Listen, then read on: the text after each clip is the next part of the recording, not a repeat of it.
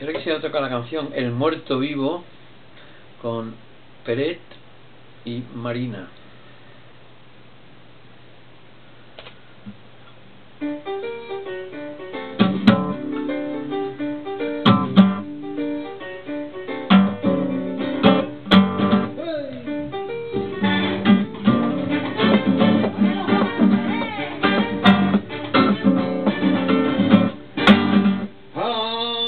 amigo Blanco Herrera le pagan